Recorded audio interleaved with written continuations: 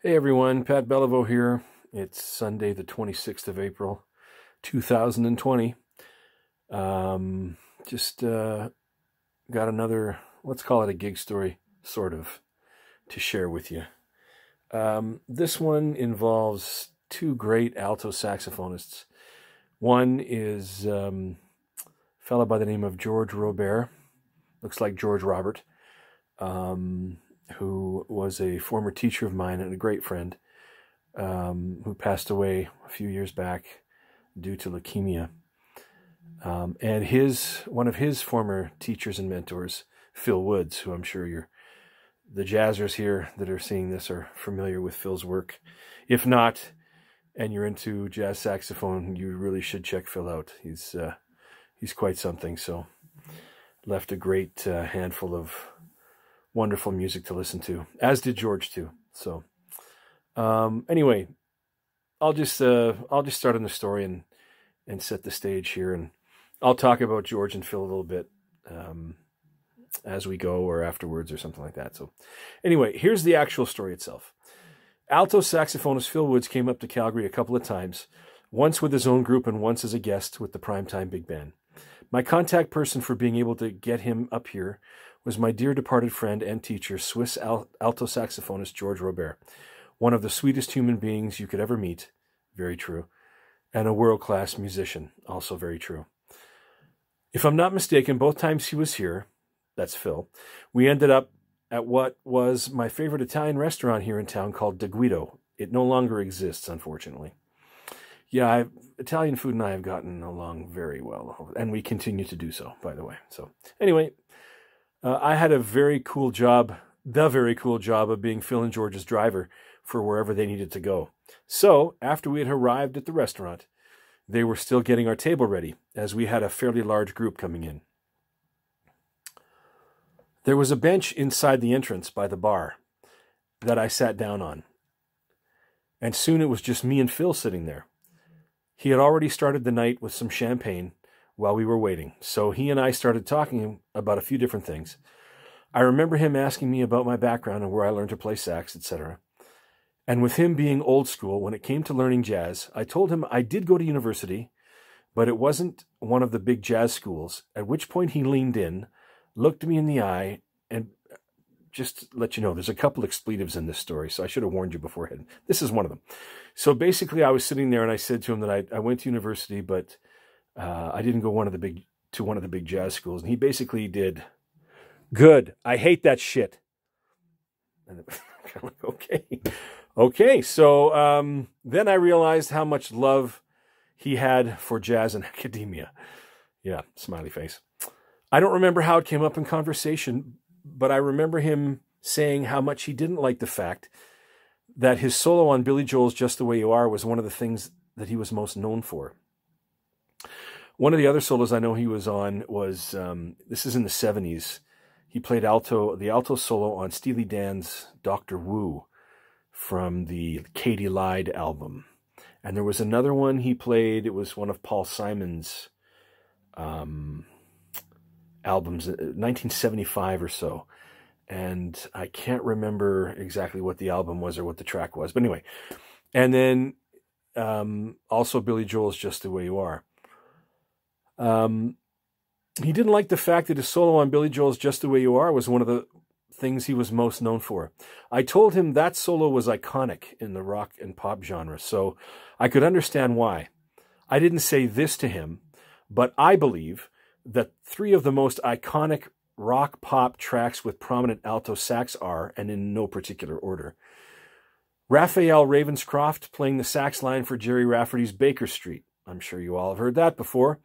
Oh, and this one, which is basically in the holy crap, it's overplayed category, Steve Gregory playing George Michael's Careless Whispers, and Phil Phil's playing on Billy Joel's Just the Way You Are. Phil told me about the session for Just the Way You Are. He showed up at the studio in New York City. Billy Joel wasn't there, but the producer was, and he was leading things along. Phil got his horn out, warmed up a bit. They played the bed track for him to hear and to let him know what they wanted him to do and where. After all of that, the engineer comes over the talkback mic and says, Okay, Phil, shall we try a take? To which Phil says, Sure. He plays the ensemble parts through, gets to the solo section, lays down the version we all know as the solo that uh, is in uh, Just the Way You Are Now, and finishes up by soloing on the fade out at the end. After finishing, the engineer turns on the talkback mic and the producer says, Great take, Phil. You ready to do another? To which Phil replies, No, man, I'm good. You wanted Phil Woods? Well, you got him. He then packed up his horn and left the studio. While sitting on the bench at the restaurant, something happened I will not forget, ever. And another expletive coming up, by the way. At risk of this sounding like a pat on the back, which is not what it was meant to be, it's just one of the things I remember from the night, or something that isn't that isn't my intention, and it is just something that I will always remember about that evening. As Phil and I were talking, a fellow friend and bandmate, Derek Stoll, who plays piano with the big band and who has done and continues to do much work with me, came up to us and said hello to Phil. And then they began to talk a bit about the concert that we did. And then Derek asks Phil, So what do you think of this guy? and points to me. And Phil says, He plays like a motherfucker and smiles at me. In my head, I was like, Hey, what?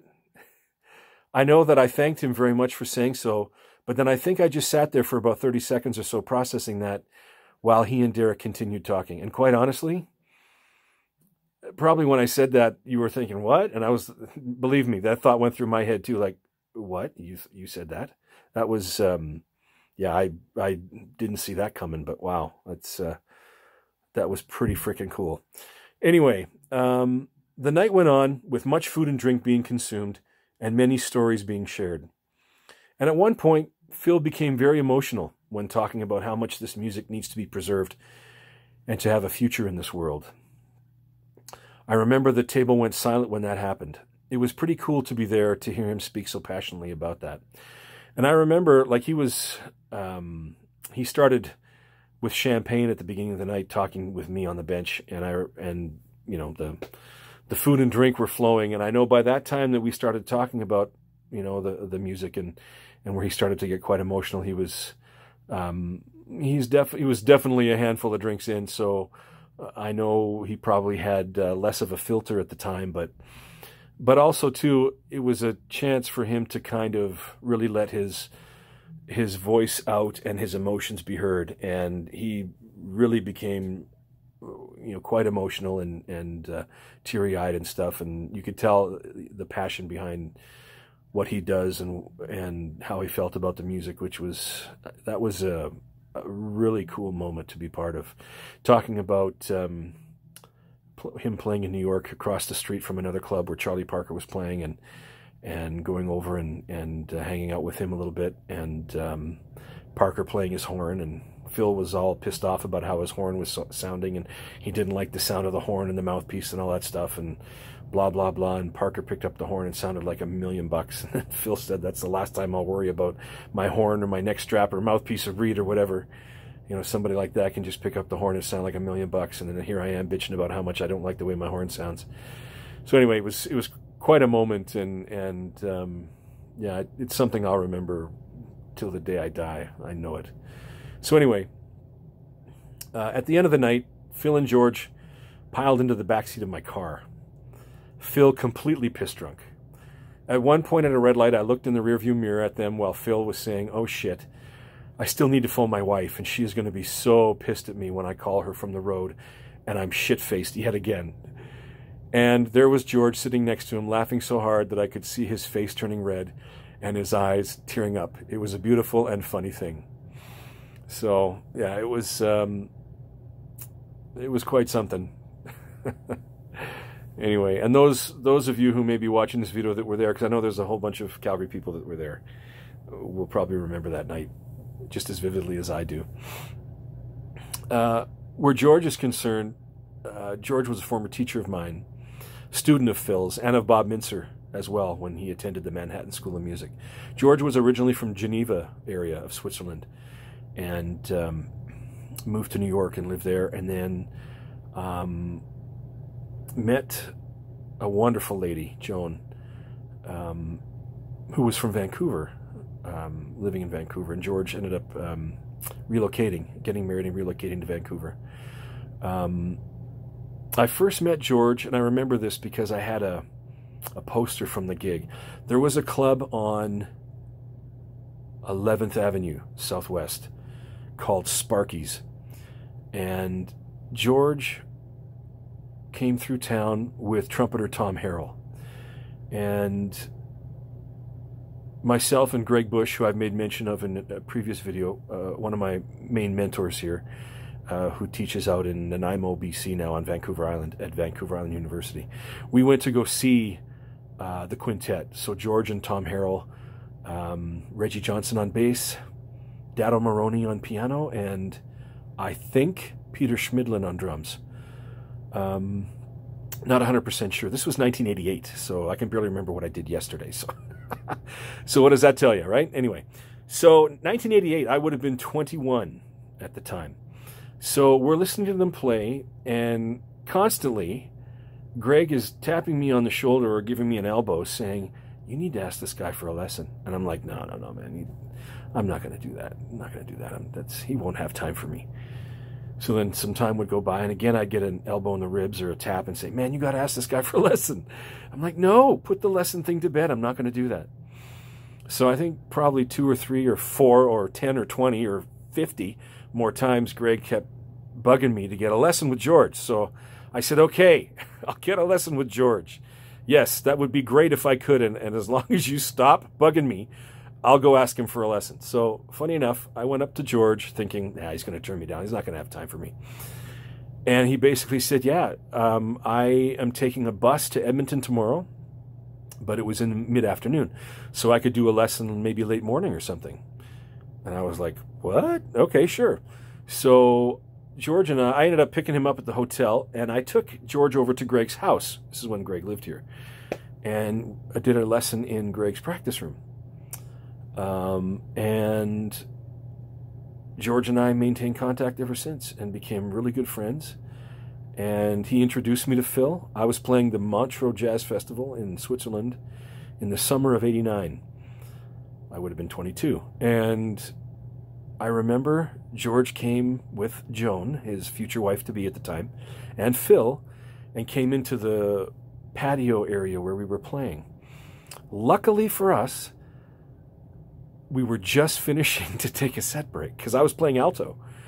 And Phil Woods walks in, and of course, you know, uh, the fear of God is in you at that point, and you're like, yeah, I think I'll just throw my horn in the lake, you know, since Phil Wood is here. Phil Woods is here. Luckily, we stopped, and I remember uh, George came up to the to the bandstand and said to Greg and I and all the guys in the band, said, "Do you want to come and meet Phil Woods?" I'm like, "Yeah, you think?" So um, I wanted to get his autograph, but I had nothing for him to sign. I had no paper or anything like that. So I grabbed an original chart that we were playing of mine that I had written, and I took the piece of paper up to him with a felt marker. And I said, you know, he introduced himself, and, and you know, this was the first, very first time I met him. And I said, Mr. Woods, I really, really would like to get your autograph, but the only thing I have is this. It's a, it's a my part for a song that I wrote for the group. He says, That's fine, give me that. And he took the marker, and I remember um, what he wrote at the bottom. It said, To Pat, when in doubt, chromatics. Phil Woods. I should have framed that, and uh, I'm not even sure if I know where that is now, which is a shame. But um, that was pretty cool. And then this other story with him coming up to Calgary and and um, and playing, being a soloist with the big band, and, and having dinner with us and stuff. It was it was pretty cool to have a chance to play with him, to meet him, to hang out with him, to talk to him like that, you know, and talk about a piece of jazz history. Man, I I was so lucky that night to be able to be there and so lucky to be involved in all of it. It was I thank my lucky stars that I have been given experiences like that. It's uh, I've experienced things that not a lot of people have, I know.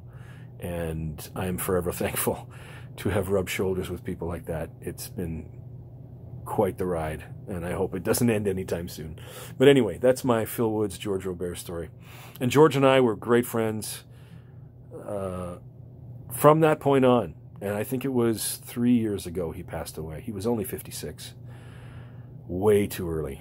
And from 1988 up until, well, three years ago, I guess, so 2017, we maintained contact. You know, we we we spoke a lot. We emailed. You know, I have nothing but wonderful things to say about him. He was a wonderful human being and just a mother player. So, anyway, uh, that's all the news, weather, and sports for this one. So, again, I'm going to set up my uh, my email address. You'll see it down below. If you have any uh, thoughts, comments, questions, topic uh, suggestions, I'm just going to keep going here, putting up videos. So, anyway, thanks for joining. Thanks for joining in to hear this, and thanks for stopping by and listen to me babble. Okay, take care of yourselves. Bye for now.